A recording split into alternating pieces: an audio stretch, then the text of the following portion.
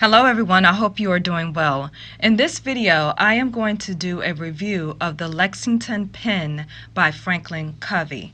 In this review, I'm going to talk about the pros and cons of this pen. Then I'm going to talk about the ink pens that I use in my planner. And then I'm going to give you my overall view of this ink pen. So now let's get into the pros of the Lexington pen.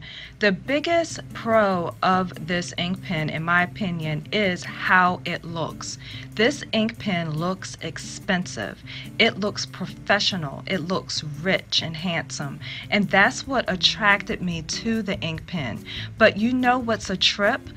Guess what I paid for this ink pen? I only paid $14.95. And actually, I feel like I overpaid because right now, franklinplanner.com is having a summer sale and it's for sale cheaper than what I paid. It's only $10.46 right now as at the time of this video. And I'll link the link below underneath this video if you would like to go to the website and take a look at it. But it looks way more expensive than it really is and I consider that a pro of the Lexington pen. The next pro is that this Lexington pen appears to be related to the Cross brand pen company. And Cross is known for making great ink pens. And so that makes me feel better about the ink pen knowing that it's made by a reputable company such as Cross. I believe Franklin Planner or Franklin Covey and the Cross Company may have gotten together to make this ink pen, but don't quote me on that. But it appears on the website that those two companies are related in some type of way.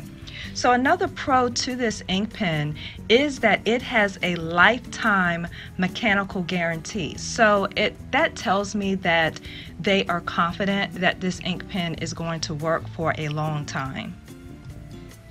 The next pro to this ink pen is the feeling that I was able to customize my ink pen. On the Franklin Planner website, you can choose what type of pen tip you want. You could choose if you want a ballpoint pen tip, a rollerball pen tip, or a fountain pen tip, although the fountain wasn't available on the website at the time that I purchased it. Now, also, not only can you choose the pen tip, you can choose your barrel color. So that means you can choose the outside of your pen and that made me feel like it was more of a kind of like a custom ink pen for my planner. So when it came to pen tips, I had to do some research online because I didn't really know the difference between a ballpoint pen, a rollerball pen, and a fountain pen. And I'm not an ink pen expert by any means. And I tried to find some pictures of the different types of pen tips online, but I had trouble finding a picture that I can insert here in the video. But after doing some research, I decided to get the rollerball pen tip because I do a lot with my hands. I work all day long on the computer, I type all day, and then I write extensively in my planner. And guess what? My hand gets fatigued. So it was important for me to choose a pen tip that wrote very smoothly, very easily. I didn't want it scratching the paper. I wanted a smooth writing experience. And from my research, I found that out of all of the pen tips, the rollerball pen tip writes the most smoothly. Are you finding this video helpful? If so, will you please hit the like button and also please consider subscribing to my channel. All of the items shown in this video can be found on the franklinplanner.com website and you can save money by using discount promo code Tonya Plans. Now it's time to talk about the pen writing test. I am of the opinion that a great writing ink pen is everything in your planner. If I have a great pen, it makes me feel like I don't mind writing in my planner. You know, have you ever like bought a house and you're sitting at the mortgage company and you're signing all those papers? Well, a couple of times that I signed those papers, they gave me a great writing pen and the pen does something with the experience. It makes you feel like you're signing important documents. It makes you feel like you're important. That's what a good writing ink pen does. Even though in actuality, I just signed my life away, you know, signing these mortgage papers. But I don't mind paying a little more for an ink pen if it will make me have that feeling about when it's time to write something. So when I was writing with the Lexington pen, I felt it was a smooth writing experience, which is what I expect with a rollerball pen. When I looked at my handwriting up close, I didn't see any skips in the ink. So that told me that the ink was flowing from the ink pen nicely. I did notice that the pen tip is cushiony. Now it did not retract while I was writing. I didn't even notice it, but I did after reading some reviews I ended up pressing in on the tip just to see how cushiony it was and so you could apply a little more pressure and probably disperse a little more ink from the ink pen if you use the tip a little bit harder or if you write harder. But I've, overall, I found the writing experience pretty good.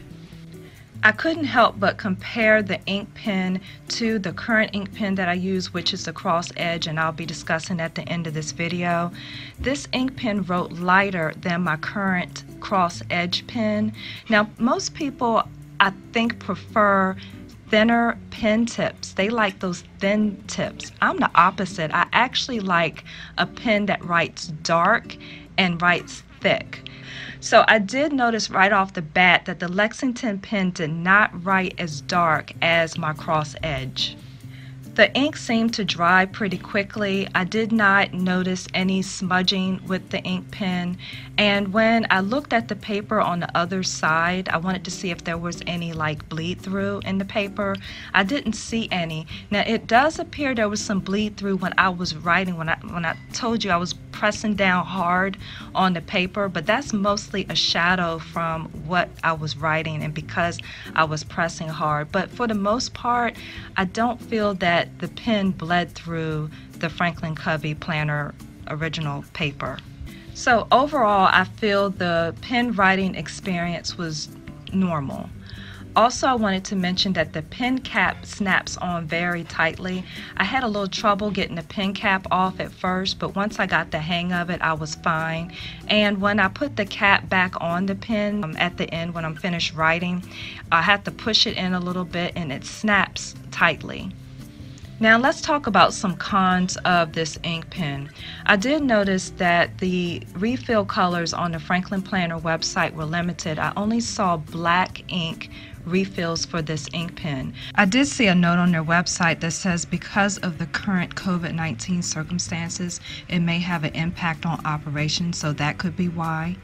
However, I feel that because this pen was made in cooperation with the Cross Pen Company, you may be able to go over to the Cross website and get ink pen refills. I did glance at the Cross website and I saw pen refills for the colors of blue, purple, and red, for example. But you want to verify that those pen refills were fit before you buy it for this ink pen. Now, one thing that surprised me about this ink pen was its weight.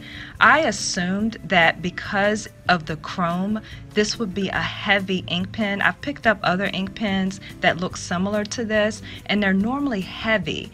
This pen is not heavy. Now, it doesn't feel like hollow and cheap and plasticky. No, not at all. The chrome is real like metal chrome, but the pen weighs like I would say between a light and a medium weight. So I'm just letting you know that don't expect a heavy ink pen when you get it. And at this price point, that's understandable. So now I want to briefly talk about the two ink pens I currently use in my planner. I mostly use right now the Cross Edge pen, which is also on the Franklin Planner website.